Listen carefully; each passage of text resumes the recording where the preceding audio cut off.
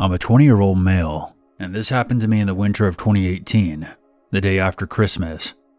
Me and my parents were on vacation in Maine, visiting my grandmother. As you can probably imagine, being in the state of Maine during the winter, it was freezing. We came up from Texas, so this was definitely not my climate, if you know what I mean. My parents had gone out to visit a friend who lived in the area, while me and my grandmother stayed back and watched some movies. My grandmother turned in at about 8 o'clock, and I eventually got bored of watching TV, so I decided to put on my coat and go for a walk outside. My grandmother's neighborhood has this neat stone maze, complete with angel statues and fountains. It was really cool, and something you really don't see a whole lot in neighborhoods these days. My grandmother's neighborhood was one of those 50 plus communities. I doubt you could have something like this in a neighborhood full of kids without it getting defaced with spray painted pictures of penises or something. For me, I actually admired works of architecture like this, and was impressed by the amount of effort it must have taken to construct it. It was open from dusk till dawn. However, my grandmother told me that there was no neighborhood security during the holidays, and no one would say anything if I wanted to go through the maze after hours, so I did just that. I brought a flashlight with me, of course, and it took me about five minutes to reach the entrance of the maze from my grandmother's place.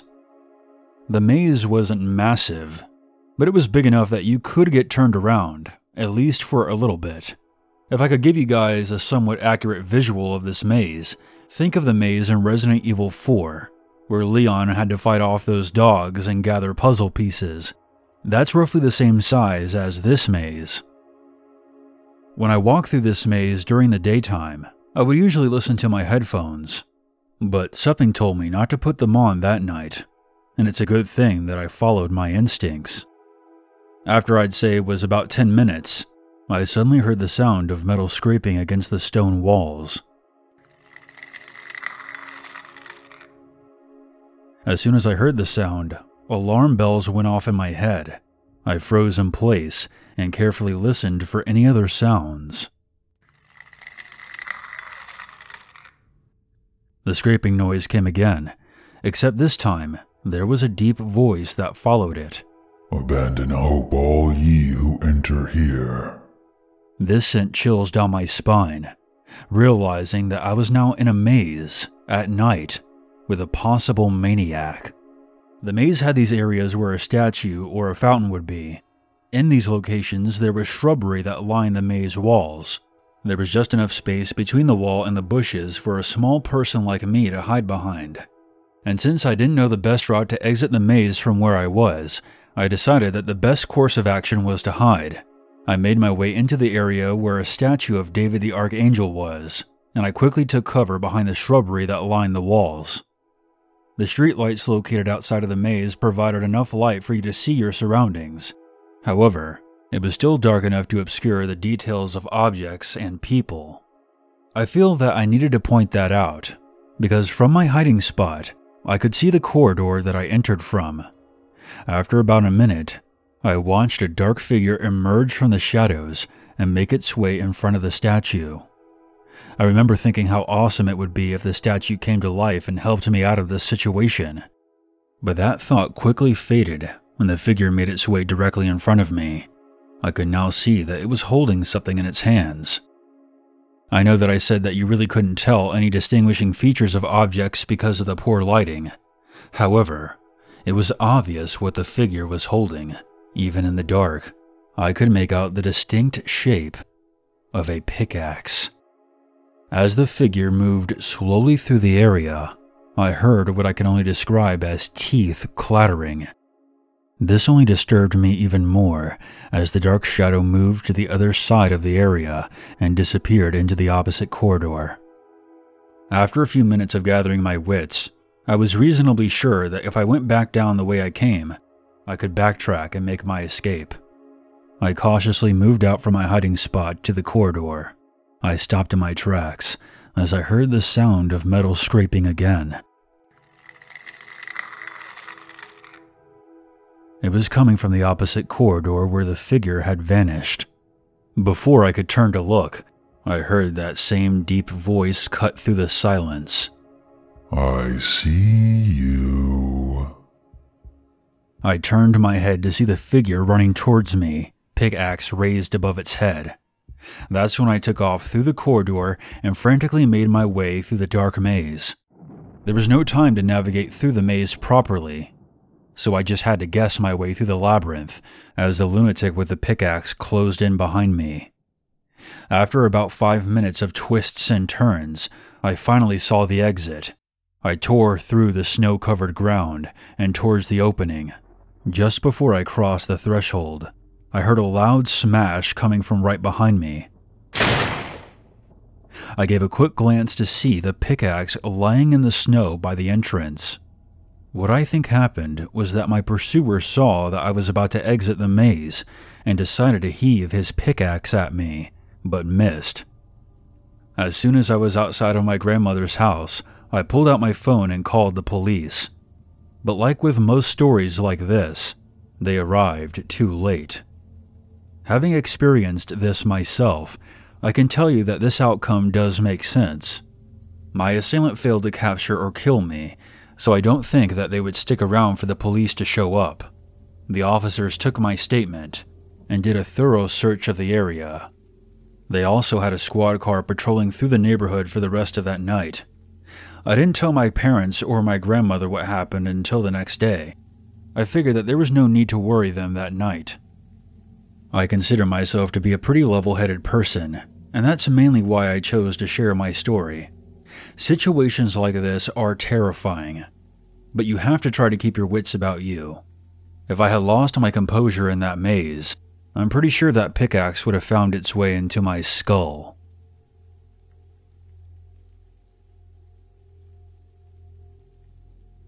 I'm a female in her 30s. I was born and raised in Gainesville, Florida, about a decade ago, while I was still in college, I would often take babysitting jobs to make extra money. I usually would watch Mrs. Gruder's two young boys named Ashton and Samuel. They were twins and were very well behaved. It was always a pleasure spending the night with them. This was around late October on a Friday. Right after my class let out, I went straight over to Mrs. Gruder's place she and her husband planned on going out of town for a few days, and I was to watch over the twins until their aunt came over on the following day. This worked out well for me, because the boys and I would usually watch TV in the living room until around 8:30, which was when I was to put them to bed. I planned on spending the rest of the night studying for the upcoming mid-semester exam. After I put the boys to bed, I was working on my laptop in the living room when suddenly that eerie feeling of being watched came over me. I tried to shake off this feeling, but I became increasingly uncomfortable. It got so bad that I had to get up and look out the back patio door. When I looked out, the only thing I saw was an empty backyard. But something did catch my eye. Towards the fence that separated their yard from the neighbors was one of those old metal swing sets. I remember Mrs. Gruder mentioning at some point that it was left over from the previous owners of the house. There were only two swings on the set, and one of them was rocking back and forth the way it would if someone had just gotten up from it. When I turned back around, I was nearly startled to death to see that Sam was standing directly behind me. My heart nearly jumped out of my chest.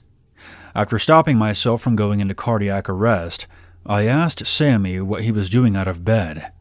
His response made my blood turn to ice. The woman with no head is keeping me up. Can you please tell her to leave? I was floored to hear him say that, especially after experiencing that uneasy feeling while I was studying. But my rationality took a hold of me, and I told him that he just had a bad dream. But he asked me to come with him back to his room and stay with him until he fell asleep again. Of course, I obliged him, I adored Sammy, and I would have done anything for him or his brother. When we got back into his bedroom, I was surprised to see that Ash was sitting up in bed. As soon as he saw us, he asked his brother, Did you tell her about the woman that was in here? Sam responded, Yes, but she thinks I was having a bad dream. I didn't know that you saw her too. I was immediately put on edge. If Sammy was just having a nightmare, why did Ashton see the same thing? I tried my best to convince the boys that because they were twins, they shared a special connection. And when one of them would have a bad dream, the other could sometimes feel it too. I didn't believe my own words, but I didn't want to bring up the word ghost because I didn't know how their mother would react to me explaining to them what a ghost was. I decided to stay with the boys and read them a bedtime story until they fell back asleep. Once they were both snoring again, I made my way back into the living room. I immediately noticed that I never closed the blinds above the patio door. As I approached the door, a stranger stepped into view. It was a woman wearing an old fashioned dress. She appeared to have no color to her. She looked like she came right off the screen of one of those old timey black and white movies. She did not look like someone who was living in the 21st century. The woman stared daggers at me. I could feel the hatred behind her cold eyes. What happened next is something that I still try to convince myself didn't happen, but my memory is just too vivid for me to be making this up. The woman's head did a 360 and then simply fell off her body. I remember putting one hand over my mouth to stop myself from screaming. The headless apparition remained standing, even after its head fell off. I know that what I'm about to say will make no sense to anyone listening, but I could still feel the woman's cold stare, even though her head was now gone. The image of the headless woman faded from view, and I quickly closed the blinds and made my way back into the boys' bedroom. I slipped under the covers with Sammy and stared at the bedroom door until I eventually passed out. I told no one about what I saw. It wasn't until I got into my car after the boys' aunt came to relieve me that I had a complete nervous breakdown. I never told the Gruters what I experienced because I didn't want to risk them switching babysitters.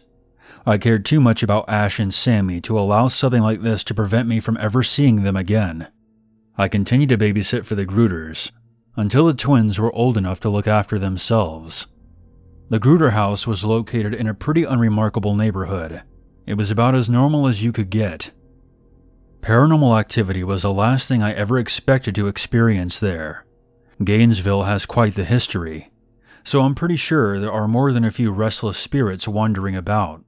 And although I never went through anything like that again, I would still sometimes see one of those old swings rocking back and forth in the dark.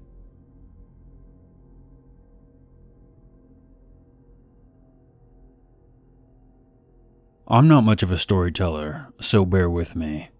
During the 90s, I went through a very rough time in my life. After a failed marriage, I became a bit of a nomad, wandering across country on foot with no particular destination.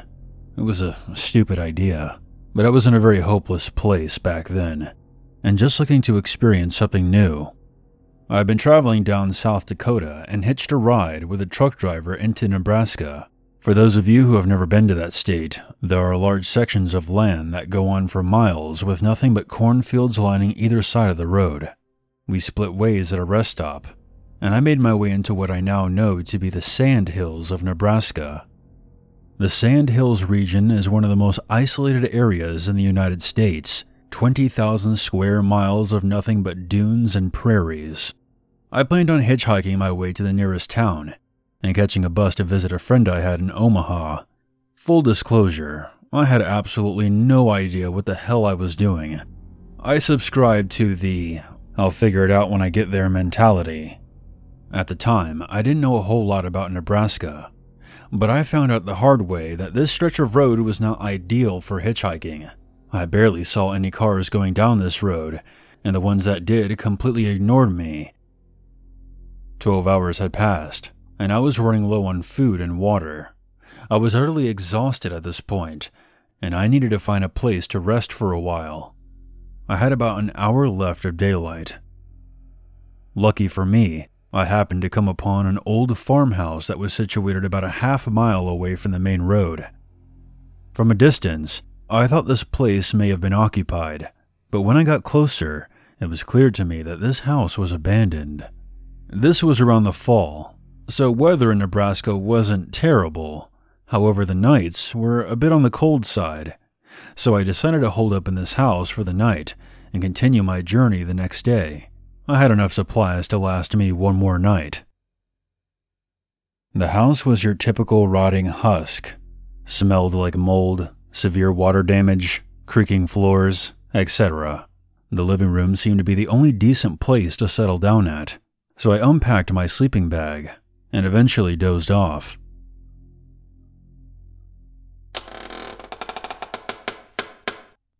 I woke up to the sound of floorboards creaking. I immediately sat up and listened. I could hear several pairs of footsteps thudding all around the house. They were coming from upstairs, downstairs, on the back porch outside, and even in the same room with me. But I didn't see a thing. I quickly got to my feet and walked over to the nearest window and peered out. What I saw was truly alarming and sent a wave of nausea through my entire body. Several cloaked figures were standing side by side. They appeared to be encircling the house. Because of the footsteps I heard, I thought there may have been people in the house with me. So, in an effort to diffuse things, I made another big brain decision and spoke up. Um, hello? I'm sorry if I'm trespassing. I was just looking for a place to rest for the night. I thought this place was abandoned. Again, I'm sorry. All the footsteps stopped at once. An eerie silence followed. It was so quiet that I could have heard a mouse shitting in the corner. I got this real bad feeling in my gut, so I reached into my backpack and pulled out my hunting knife. I gathered the rest of my things and slowly moved out into the hallway. Aside from the mysterious figures outside, I was also thinking of what was making those footsteps inside the house. As I said, I heard several footsteps when I woke up, so I figured it wouldn't be long before I ran into someone inside the house. But after combing the entire downstairs, I didn't see or hear anything. I could tell something was very off. That bad feeling I mentioned earlier intensified, despite the fact that I knew there was a bunch of weirdos in cloaks waiting for me outside. Something told me that if I didn't leave the house that very moment, something terrible was going to happen to me. The house was located in a wide open clearing. Beyond the clearing was a barrier of tall grass. When I left through the front door, I stopped directly in front of the house. No matter which direction I looked, I saw another hooded menace blocking my way. I suddenly felt this heat on my back. I quickly turned around and was shocked to see that the house I just left was now engulfed in flames. I cannot explain how this happened. Moments before, I was inside that house, walking around, and it was now on fire. I backed away. I decided that I was going to run through the figures and get the hell out of Dodge. But when I turned back around, the figures were nowhere in sight. Things were getting way too bizarre for me at that point. The only thing I knew for sure was that I had to get the fuck out of that place. When I got back out to the main road, I didn't stop walking until I finally got to a town, whose name I can't remember. The rest of my time in Nebraska went well, and I got my life together shortly after I got back home from my trip. As long as I live, I'll never forget that old farmhouse and those mysterious cloaked figures. This incident still baffles me to this day, but perhaps some things are best left unanswered.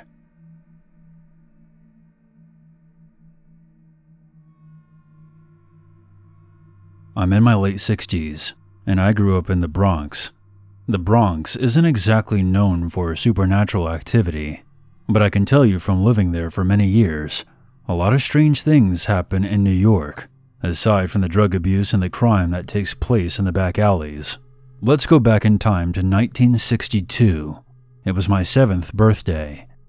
My grandmother got me this vintage Mattel Jack in the Box. This was back when these kinds of toys were more commonplace. From the moment I opened the gift, I immediately got a bad feeling. Jack in the Boxes are naturally creepy to some people, and I was never a fan of them, even as a kid. But I loved it when my grandmother came up from Brooklyn to visit us, and if I even hinted that I didn't like the toy she got me, my mother would have made sure I didn't sit down for a week. I don't know where my grandmother got this thing, but if I had to guess, she probably got it from one of the several pawn shops in the area.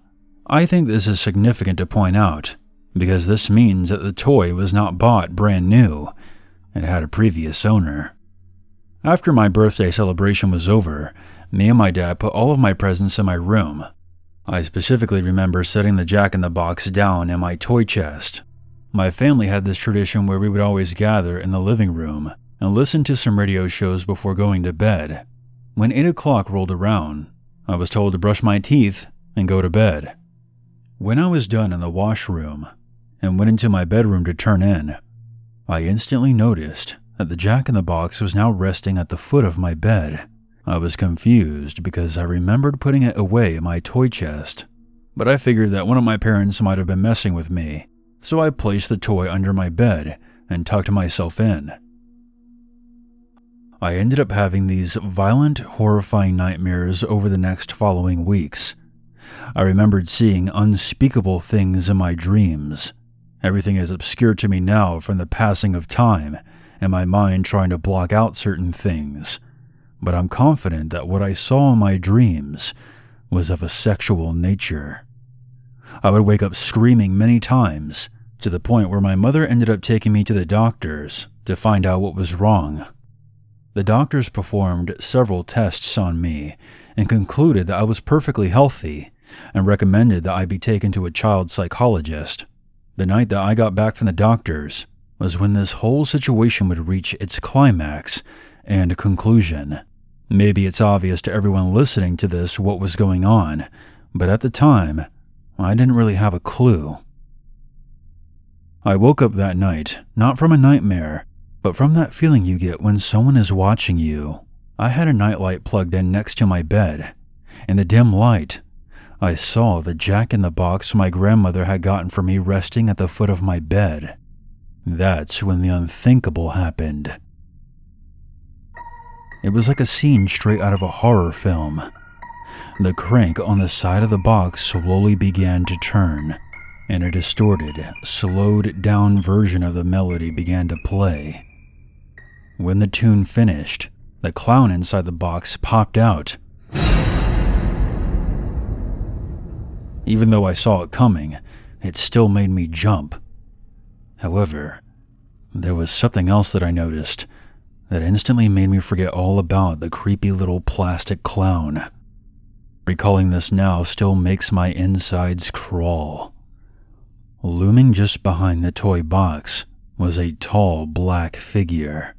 The only thing I could tell you about this shadowy presence is that it had these long horns on top of its head.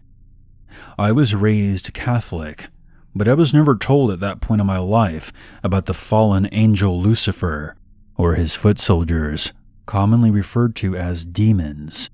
My fragile little mind could not comprehend what I was witnessing, but I remembered my teachings about God's love and the power of prayer so I closed my eyes and began to pray aloud. Shortly after I began my prayer, I heard a loud shrieking, as if I was inflicting pain to whatever was in my room. As soon as I opened my eyes, I saw that the figure was gone. And the box that was still resting at the foot of my bed was now closed. We lived on the third floor of an apartment building, Outside of my room was one of those stereotypical dark alleys New York City is known for. I opened up my bedroom window and hurled the box out. As soon as I threw it, I was expecting to hear it crash on the concrete below. But instead, I heard what can only be described as giant wings flapping. I didn't see anything, but I felt a gust of cold air hit me and I quickly shut my window and ran back under the covers. I'm sharing my story to inform everyone that there are dark forces out there beyond our comprehension. You'll be surprised to hear that I'm no longer a part of any organized religion. I'm still a very spiritual person, and I do believe in a higher power. If you're confused by this, I'll try to break this down for you in the simplest of terms. Dark entities, like the one I encountered so many years ago, are comprised of energy, and they react to other energies in different ways. If you show fear in the face of adversary, they will feed off that fear and become stronger. If you show bravery and perform an act like prayer as a means to combat the presence, that is what ultimately drives them out. I believe wholeheartedly that you don't have to belong to a church or a certain religion to deal with an intruding presence. It was this event that inspired me to become both a counselor and a paranormal investigator. I have used my experiences with the paranormal to help many families across America. So if you ever encounter one of these dark spirits in your home, remember my words. Do not show fear, be brave, and make it clear that they are not welcomed.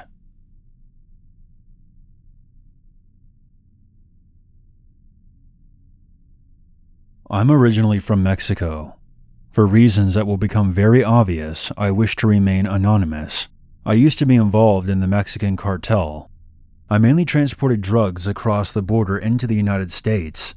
To make a long story short, I was caught and cooperated with the feds in exchange for immunity and asylum.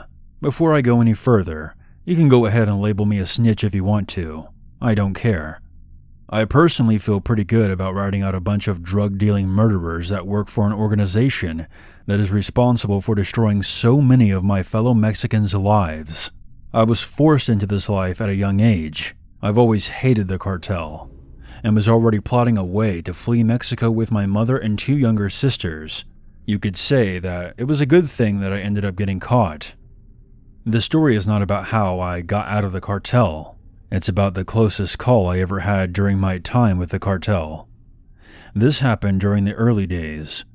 It was the summer of 2005. I remember the date specifically because I had just turned 18 a day prior. Even though I was barely an adult, I was a very intimidating looking guy. I come from a long line of very physically strong men. I've been lifting weights since I was a child. I'm an even tempered guy and I don't consider myself to be an aggressive person, but I will put somebody through the wall if they piss me off. It was because of my physical presence and my piece of shit father, who was also in the cartel, made me a target for recruitment. When I first started out, myself and two other guys would drive around Mexico City and collect debts and packages from people who owed money to the cartel or one of our distributors. It was on the fourth or fifth run that we ran into some trouble. There was this particular club we frequented where a lot of business was conducted. To make things simple, an exchange would go down in a back room, and we would come shortly after and collect the revenue and drop it off to our capo. So that night, we entered the club and began making our way to the back room. It was a fairly busy night for the club. This DJ from out of town was performing there, so people from all over were there to see him. To get to the back room, we had to go through the main dance floor to the opposite side of the building.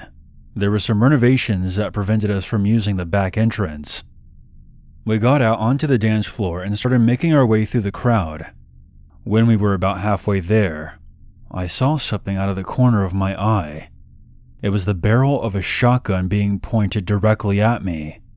I quickly ducked, and not a second later, I heard the gun go off Unfortunately, an innocent girl who was standing beside me caught the bullet. She was shot at point blank range, and I don't mean to be insensitive when I say this, but the poor girl's head was blasted apart. I remember several things happening simultaneously after the shotgun went off. All of the partygoers immediately fled the club. From my position on the ground, all I saw was a wave of moving legs. When I stood up, I saw a deserted club, my two co-workers with their guns drawn, cursing up a storm, and, unfortunately, the corpse of the young girl who was just shot. I assume that the shooter got away in the chaos. We quickly busted into the back office to find another bullet-ridden corpse. It was a club owner, who was our contact. We immediately fled the scene before the police showed up.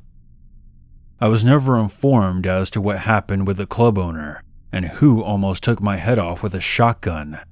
I was on the lowest rank of the cartel, and they kept us in the dark about a lot of things. I'm grateful that I'm no longer a part of that life. I would like to end things by saying a big fuck you to that asshole who tried to kill me and ended up shooting an innocent girl that night. And to all those cartel members who got locked up because of me. You got what you deserved. And I'll see you in hell.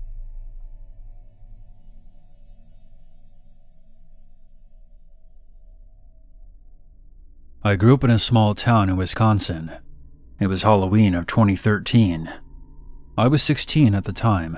Me, my sister Lauren, who was 14, and my brother Jacob, who was 11, were on our own that night.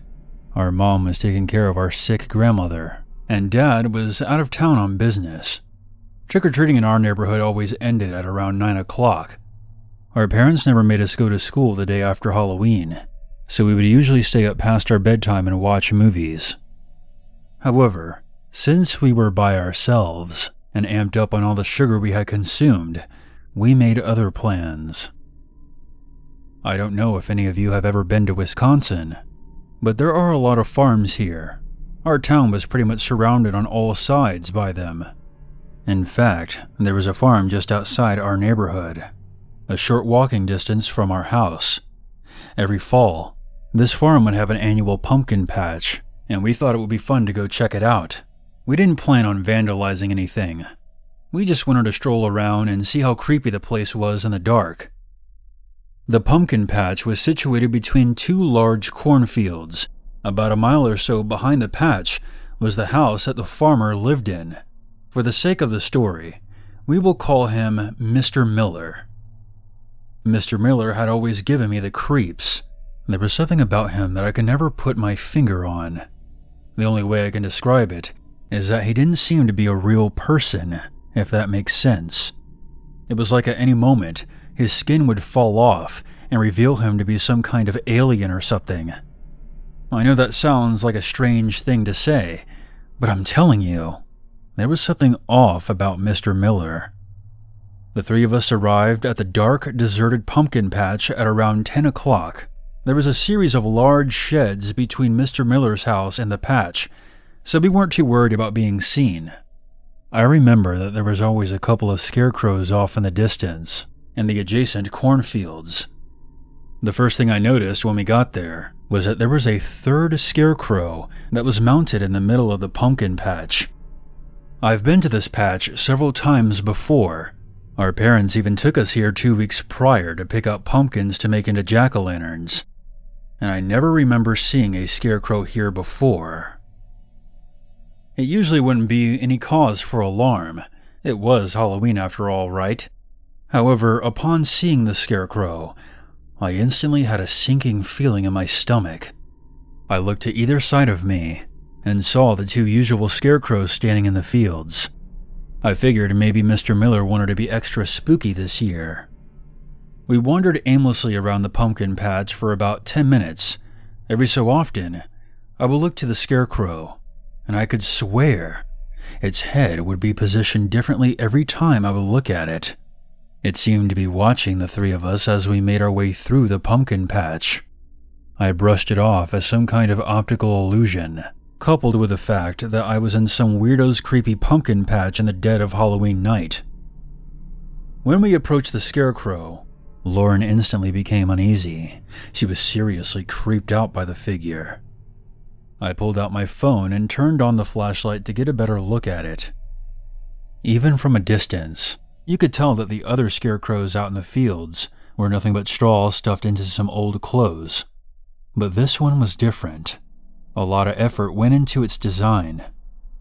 It was mounted on a pole in the typical scarecrow stance.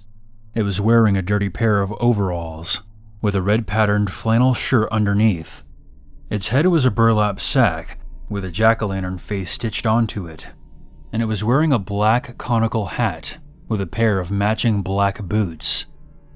As my phone's dim light passed over its surface, I noticed these dark red stains on the overalls. As I was examining the straw man, Jacob, being the little shit he was, came between me and Lauren I bet you're too chicken to take off its mask. Me, never passing up a chance to show up my little brother, accepted the dare. on the condition that he would have to forfeit all of the Reese's cups that he had gathered that night.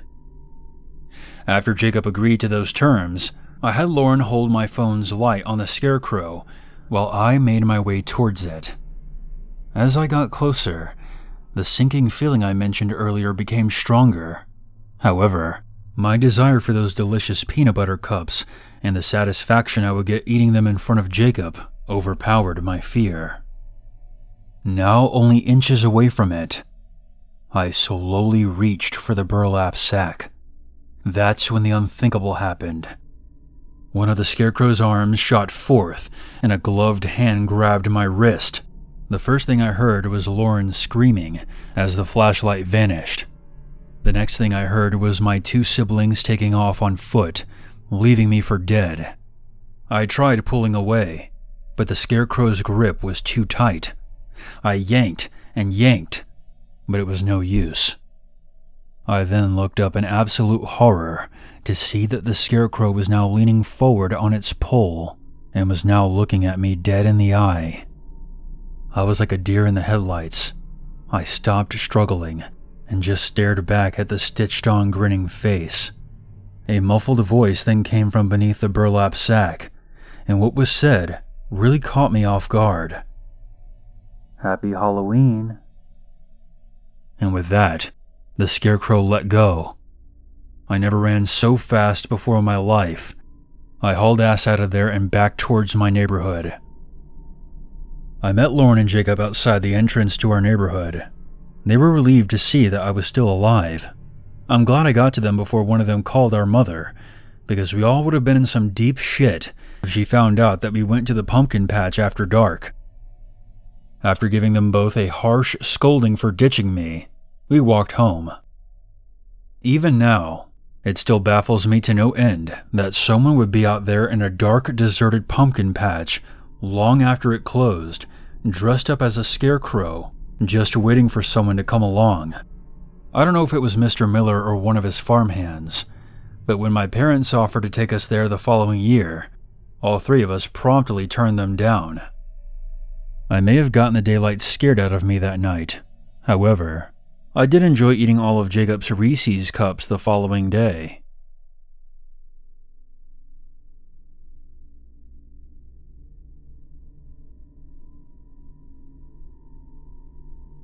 I live in Central Florida. My neighborhood is one of those unassuming, quiet suburban havens. Not much happens around here these days, it's important to make that distinction because once upon a time, my neighborhood was terrorized by a serial rapist back in the late 80s. This was before my time, but apparently he used to hide in the bushes along a bike path that runs behind the neighborhood and would attack unexpecting females. It was this series of attacks that led to a strict closing time of 9 o'clock. However, this did not stop the neighborhood kids from venturing the trail after hours, including myself. I'd say this happened around the summer of 2007. Me and a friend of mine, who I'll call Jake, were being a couple of teenage losers and smashing beer bottles against the trees along the trail. I would say that this happened around 10:30 p.m. To give you a general layout of this trail, it was 2 miles long and started at a lake that was located at the far side of the neighborhood. It ran behind the rows of houses and ended at a soccer field that was just outside the neighborhood. The area of the trail right before you get to the field was the narrowest part, with trees suffocating it on either side. Despite any moonlight that may be out at night, rest assured that this particular area would always be pitch black. Jake and I were approaching this part of the path. We planned on messing around the soccer field on the other side. As we got closer to the opening, I started to get a feeling that we were being watched. I motioned for Jake to stop as I listened carefully.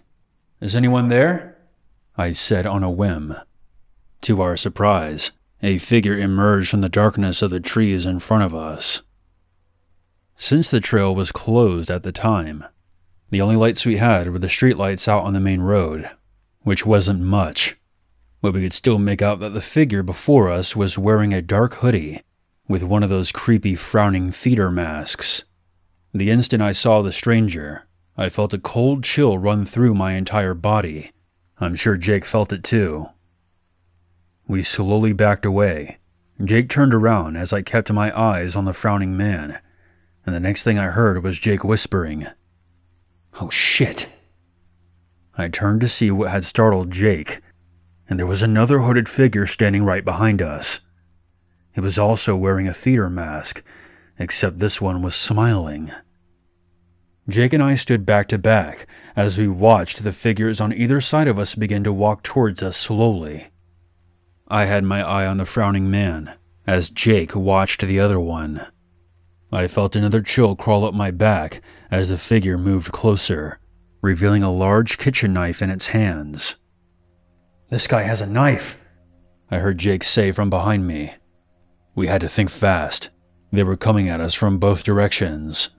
That's when I had an idea. Right before you got to the narrow path, the trail was bordered by residential fences.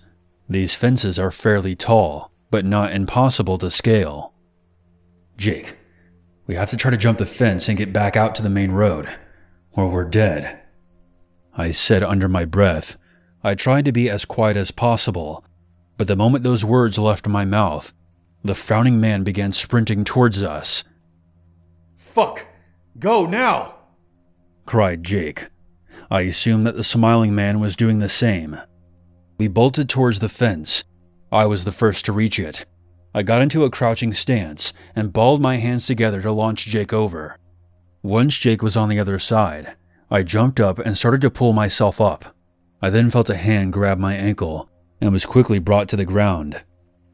I look up and see the frowning man towering over me, with his knife raised up. I tried to scream, but my voice was caught in my throat. All I could do was watch as my life ended. Suddenly, the frowning man staggered back as he was struck in the head by a large object. Kevin, run! There's an opening in the side. I looked behind me to see Jake perched at the top of the fence. He was pointing to his right. I looked to see that there was a small opening at the far end of the fence. I scrambled to my feet and ran for it. I practically dove through the small hole in the fence.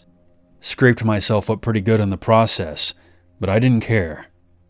As soon as I got to my feet, a hand shot through the opening and grabbed a hold of my foot, causing me to fall forward. I looked back to see a smiling mask in the fence opening. Jake quickly ran over and stomped on the smiling man's arm. We heard a muffled grunt, and the smiling man withdrew his hand back through the opening. We ran as fast as we could all the way back to my house. After we calmed down, we decided not to call the police, as that would have resulted in Jake going back home and possibly never being allowed back over, as well as me being grounded for a week. So, being the narrow minded dipshits we were, we decided to keep this to ourselves. But you can bet your ass that we never walked that trail after dark again. It's a good thing that we were both in pretty good shape at the time, or we may not have made it out of that situation. I live in the same neighborhood to this day, and even after all these years, I've never heard of anyone else encountering these masked men. I guess we were just lucky that night.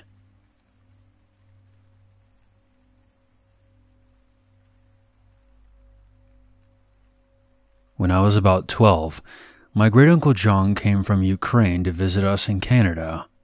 He had a lot of stories, but this was the one that stood out. In the late 1960s, John was traveling by train from his village to another to visit family. He had to change trains at one point and was dropped off at what amounted to a platform in a hut in the middle of nowhere. There was no one else at the station, and other than a dirt road that led off into the surrounding woods, there was nothing there. He waited for some time, but no train came. It was winter, and it was getting colder and darker.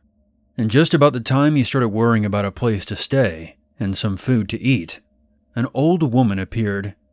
An old woman appeared out of the twilight. She asked if he was waiting for such and such train, and when he confirmed, she said it wouldn't be along until the following day. She asked if he needed a bed for the night, and offered him a meal and a room at her house, which he said was about an hour's walk from the station. Lodging with locals was more or less the standard when traveling in this part of the USSR. and my great uncle John wasn't looking forward to a hungry night on a cold platform, so he graciously accepted her offer. He took his suitcase and they set off together down the dark road into the forest.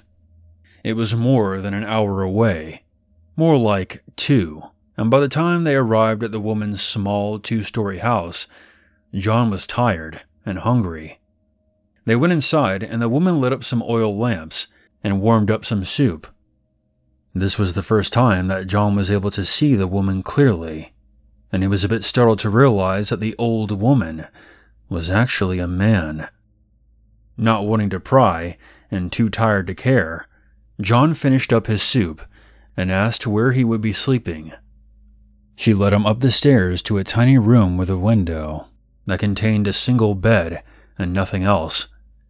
He thanked her, and they said good night, and she closed the door. The door was then locked, leaving John in the dark.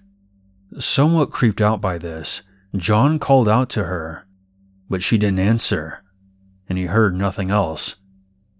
Figuring that he would deal with it in the morning, and that she'd probably done it by mistake, John set his suitcase down and laid on the bed, deciding to make the best of it and get some sleep.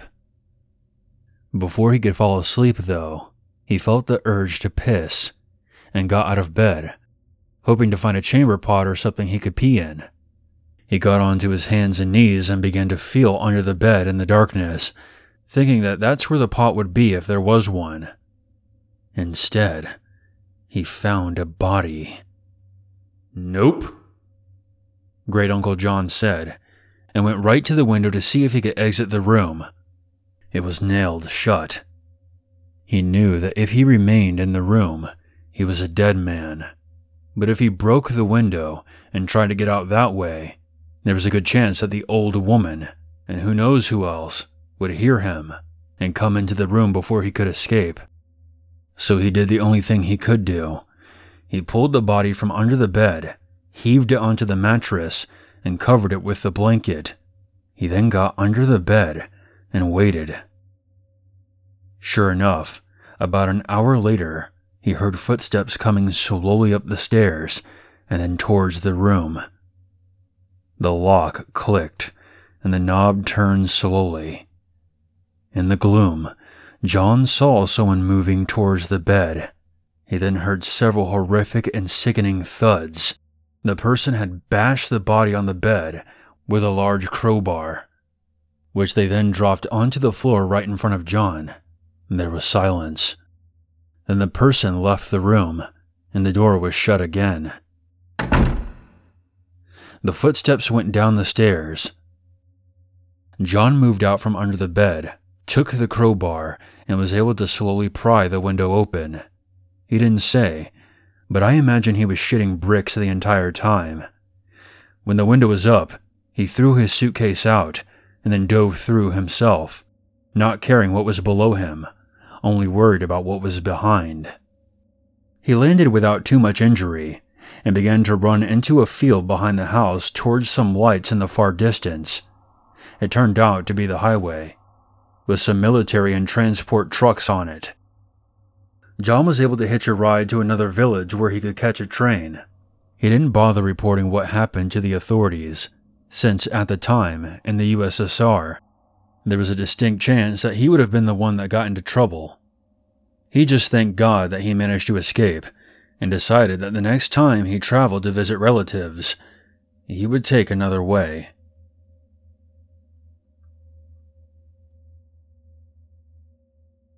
I live in Florida, and this incident happened about three weeks after Hurricane Irma, so not that long ago. Back in July, the ex and I had just finalized the divorce, and I moved into a gated neighborhood, where every house was rented out by the same rental company. It's a very small neighborhood with about 15 houses tops. All 15 of the houses are around a man made lake, with the backyards facing the lake. No one really has a fenced in backyard. When you walk out your back door, you'll see the lake in front of you and your neighbors' yards on each side of you. Everyone in the neighborhood seemed very close. Someone was always having a family party or barbecue, or having people over to watch sports.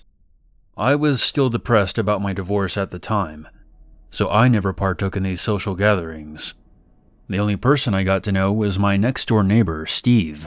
He was active in the Navy and had a huge love for guns. Steve is the true hero in this nightmare. My daughter Alice was four years old, and she would stay over every weekend. Alice's bedroom window faces the backyard towards the lake. I spoil that girl to death. She truly is my everything, and I count down the days to the weekend every week just to be with her. That's why I was upset when Irma came, and I had to go almost three weekends without seeing her. The weekend before the storm, she was with her mom. Then, obviously, the weekend of the storm, she was still with her mom. And on top of that, she had to stay with her mom the following weekend, because my power was still out. No AC in Florida is miserable. The humidity was so bad that week that I slept in my daughter's room the whole week because she had the only room with a window that faced the lake. I opened the window so the wind could cool the room as I slept. Eventually, the power came back on, and Alice starts visiting me again like normal. That was when the nightmares started. My daughter would complain about the singing lady and how she doesn't like her anymore. I thought maybe that she was referring to one of my ex's friends, or someone she knew from school. Maybe there was a teacher at her school that sang to the kids that she didn't like. That Saturday night, Alice woke up screaming bloody murder. I ran into her room and turned on the light and found her hiding under the covers. I asked her what was wrong, and all she could do was point to an empty corner of the room and say, Look, look! But there was nothing there. She was acting as if she saw a ghost. After I calmed her down, she started to talk about the singing lady again. Please tell the singing lady to not come back. Please, Daddy, make her go away. Obviously, she was having nightmares. I showed her that there was nothing in the closet and nothing under her bed, and there wasn't anything to be afraid of. She calmed down and eventually went back to sleep, and I quickly went back to my room and got into bed. It couldn't have been no more than 20 minutes before Alice comes running into my room, screaming, She's back! She's back! Alice absolutely refused to go back into her room, so I let her sleep with me. The next morning, Sunday morning, I took Alice out to breakfast, and then we stopped at Target to pick up a baby monitor. I haven't used one since her mom and I were still married, but I wanted to easily be able to hear her if and when she started having these nightmares again, so I could respond quicker. After I set them up, I showed Alice how they worked to give her assurance that I could hear her and she was safe. That night, she slept soundly and didn't make a peep all night. The following weekend, Alice had to stay with her mother again because she caught a stomach virus from one of her friends at school. It was Saturday night, and I was still asleep in my bed. It was around 2 a.m. when I heard it.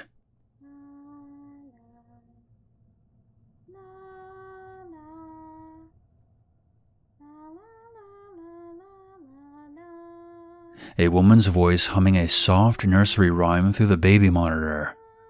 The humming got louder and clearer as the voice got closer to the monitor. I wasn't dreaming. I could hear a woman softly singing lullabies in my daughter's bedroom. I have never been so scared and dumbfounded in my life. Then the voice spoke out Alice, sweetie, are you awake? Adrenaline shot through my veins, and I jumped out of bed and locked my bedroom door. I picked up my cell phone and called Steve from next door. He didn't waste a second. As soon as I got off the phone with him, I heard him storm out of his back door screaming, Don't you fucking move! I ran outside and found him aiming his shotgun at a woman crouched outside my daughter's window, the one I had left open after Irma and never closed. Steve quickly dropped his guard when he recognized the woman. It was Jean, the neighborhood maintenance woman. Steve's wife came running out after him and confirmed that it was her. Jean played dumb, said that she was not singing and didn't even know my daughter's name, She said that she was near my daughter's window because she was doing her weekly patrol, looking for gators. She thought she saw one and approached our house from the lake. Bull fucking shit. That bitch was singing. And she called out to my daughter by name. Yes, it's true that there may have been a few gator spottings around the neighborhood. And yes, a part of Jean's job was to patrol the lake at night every now and again. But at 2 a.m.? I obviously knew it was bullshit. And even though neither Steve or his wife called her out on it, I could tell from the look on their faces that they didn't believe her either. The next morning, I went over to Steve's house to thank him and told him exactly what happened. He told me that Jean and her husband have been known to be a little cuckoo, but this is by far the craziest thing that has happened. Steve helped me install metal bars on Alice's window that afternoon,